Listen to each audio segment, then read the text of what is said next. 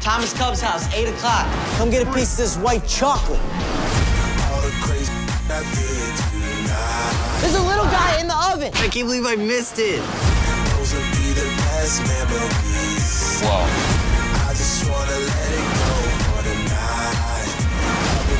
It's a flying dog. Just like us. Is this big enough to be cool? Game changer. Project X, rated R, starts March 2nd.